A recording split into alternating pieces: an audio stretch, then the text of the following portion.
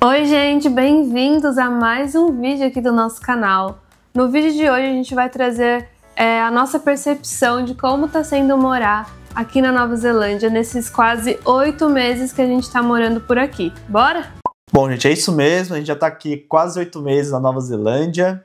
Né? A gente veio com visto de Working Holiday Visa. Sim, se você quer saber mais sobre esse vídeo, já tem vídeo aqui no canal falando qual, o que é o visto e como aplicar. A gente vai deixar aqui na, na descrição do vídeo para vocês. É isso mesmo. Então a gente vai trazer um pouquinho da nossa percepção, né, de como é viver aqui no país, né? Acho que oito meses já dá para ter uma ideia boa. Uhum. Então a gente vai compartilhar aí com vocês alguns tópicos e falar, né, das coisas boas e algumas coisas não tão boas é, sobre morar aqui na Nova Zelândia. Bom, primeiro falando então dos lugares que a gente morou, né? A gente chegou aqui na Nova Zelândia lá em Auckland, que é a maior cidade da Nova Zelândia, não é a capital, mas é a maior cidade da Nova Zelândia. E depois desses quatro meses, a gente decidiu vir para a ilha sul da Nova Zelândia. A gente está morando em Christchurch agora, que é a segunda maior cidade da Nova Zelândia, né? Então a gente morou na maior cidade da Ilha Norte e agora a gente está morando na maior cidade da Ilha Sul.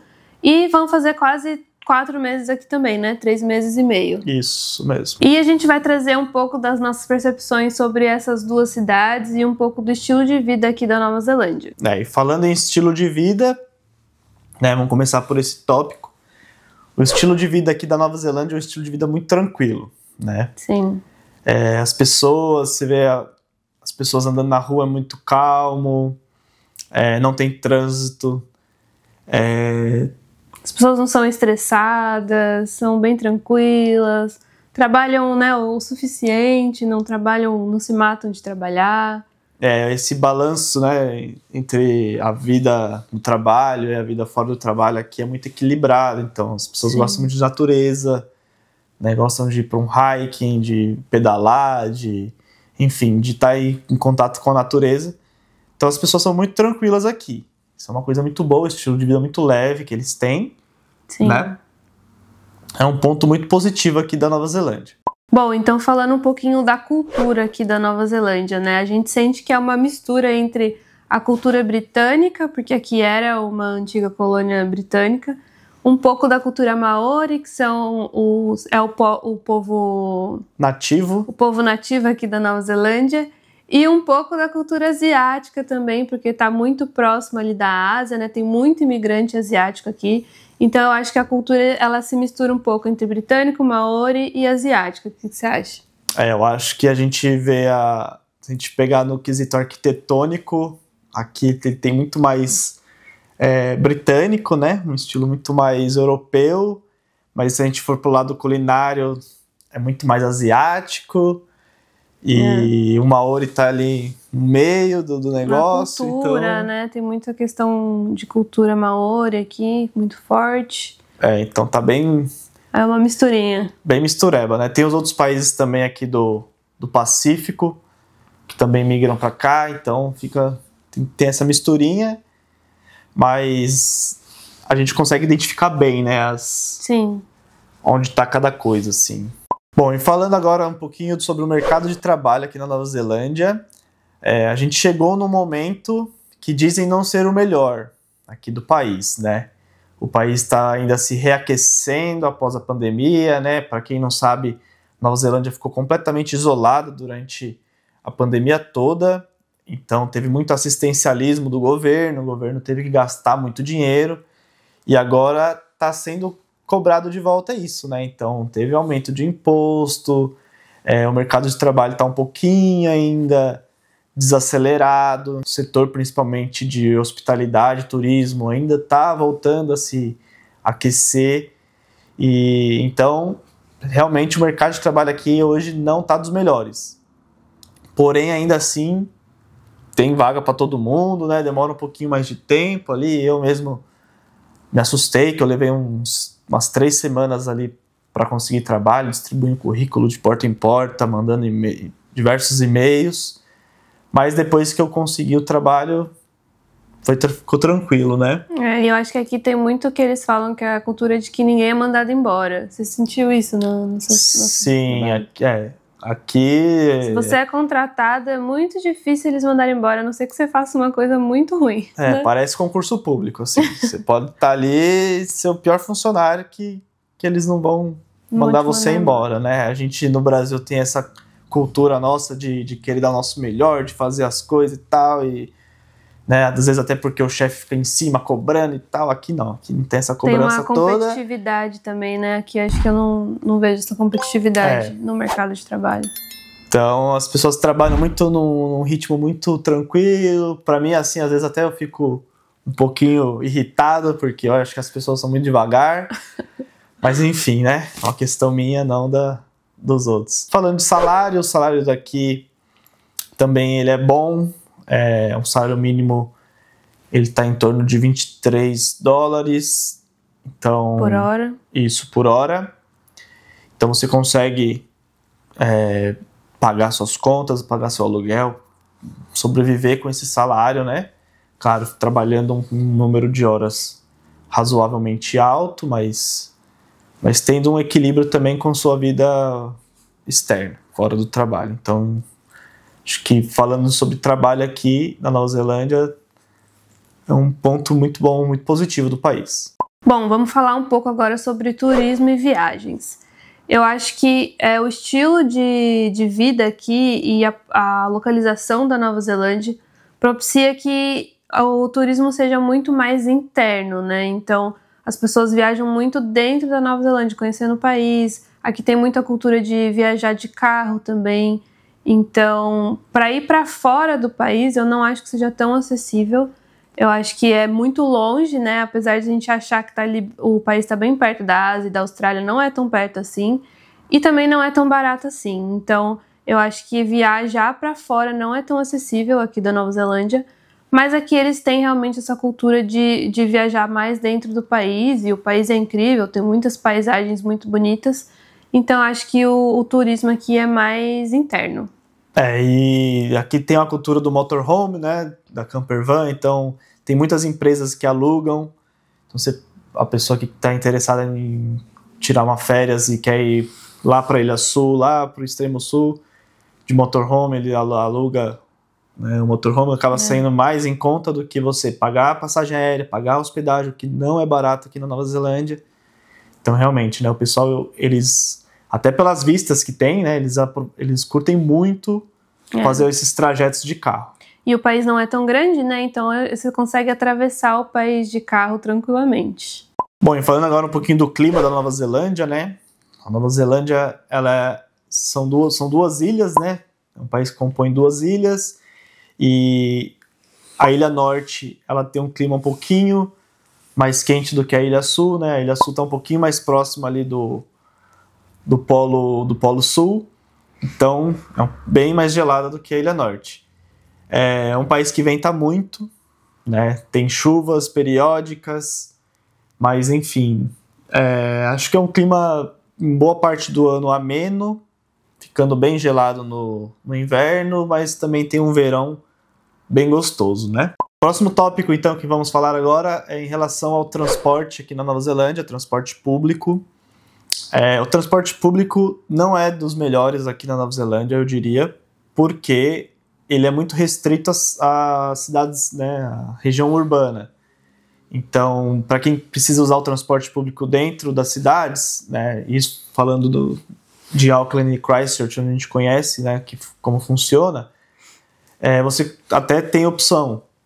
Mas se você quer ir de uma cidade para outra, é, viajar de transporte público, aí, aí é um, uma, um quesito que o país peca, né? Você não tem Sim. um trem que sai da cidade grande para uma cidade menor, você não tem metrô. Sim. Então, transporte público, acho que na Nova Zelândia precisa melhorar e muito, né? É, e até a gente falou sobre viagem, né? Que eles têm muito costume de viajar de carro e acho que faz parte da cultura deles ter carro aqui, né? Muito, muito forte. Isso todo mundo tem carro. E eu não sei se é porque as pessoas têm. É, todas as pessoas têm carro que o transporte não é tão bom, ou, né? É. O transporte não é tão bom porque as pessoas têm muito tem carro. carro. Não sei o que, que puxa uma não coisa na demanda. outra, né? Não tem tanta demanda. Mas aqui eles têm muito essa, essa cultura do carro, então o transporte ele deixa a desejar. É, carro aqui é muito barato, muito acessível, então acaba que qualquer adolescente ali, quando já está trabalhando, começa a trabalhar, já, já tem o carro próprio dele, né? Às vezes a família tem uma camper van também para viajar e tal. É, isso falando em relação à rota, né? Porque em relação à qualidade do transporte, é, é perfeito, assim, os ônibus são novos, são muito bons, tem, tem ar também, né? Tem ar-condicionado, Wi-Fi. É... Tem lugar para carregar o celular, então é, é bem bom. É só a questão da rota mesmo que, que deixa a desejar. É, e eu acho que o valor também, né, do transporte público é bem alto. Sim. É, eu costumava pagar em Auckland, assim, por dia em torno de 6 dólares de transporte público, que é para fazer uma, um, um trajeto ali de, às vezes, menos de 2 quilômetros. Então, eu acho muito, acho Para ir e voltar, você caro. fala, né? Isso. Gastava 6 por dia. Então, era bem alto, né, o custo do transporte aqui. Bom, e o próximo agora é sobre segurança pública. É, Nova Zelândia é um país muito seguro. É muito raro a gente ficar sabendo que teve algum assalto aqui, que roubaram alguma loja. Acho é... que eu nunca ouvi falar, na verdade. Ah, eu já vi alguns, alguns videozinhos de Instagram, assim, do pessoal roubando loja, enfim, mas é muito raro isso acontecer. É, roubo de carro, roubo de bicicleta, enfim, qualquer tipo de coisa que te coloque em perigo aqui é bem reduzido, né? Aqui a gente se sente realmente muito seguro. A gente mal vê polícia na rua, né? Pra você ter ideia. E até brinquei com a Natália esses dias, eu falei que a, o maior perigo que a polícia tem aqui é correr atrás da, da galera que gosta de, de tirar racha na rua, assim, que às vezes acontece.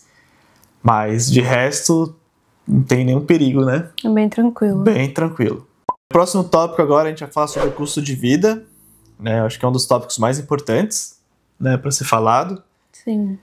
E bom, para falar do, sobre o custo de vida, primeiro vamos levantar um pouquinho, né, em relação a, a salários aqui. O salário mínimo aqui da Nova Zelândia hoje é de 23 dólares e 15 centavos por hora. Então, você é uma pessoa que gosta de trabalhar bastante ali, em torno das 40, 44 horas, você vai ter um, ali um salário de mais ou menos uns 800 a 900 dólares por semana.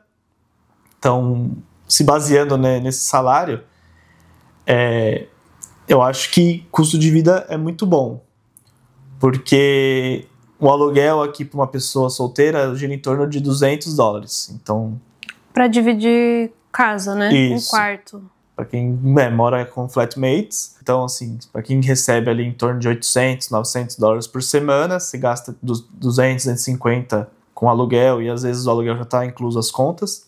Uhum. E para então, casal? Para casal, 400 dólares por semana, né? Mais ou menos mais uma ou média. Menos. É. A gente sempre fala por semana, porque aqui é tudo por semana, tá, gente? Isso. Então, o salário é por semana, o aluguel é por semana, tudo por semana. Só algumas contas, né, que já vem mensal. Mensal. É. E conta de energia, às vezes já está incluso, né, como eu falei, já no valor do aluguel.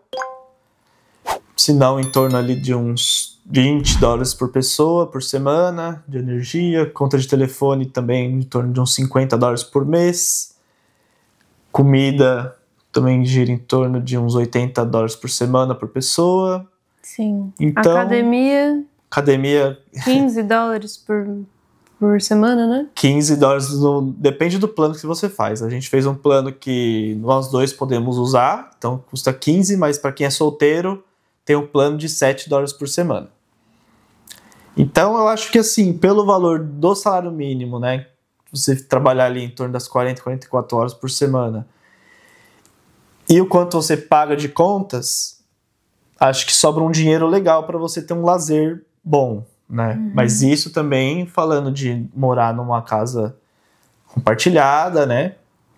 Aqui na Nova Zelândia é bacana porque a maioria das casas compartilhadas é, você não compartilha o quarto, então geralmente você tem o seu quarto privado, né? O que torna a qualidade de vida também muito melhor, né? Para quem costuma dividir. Então eu diria que, que o custo de vida aqui é bem razoável.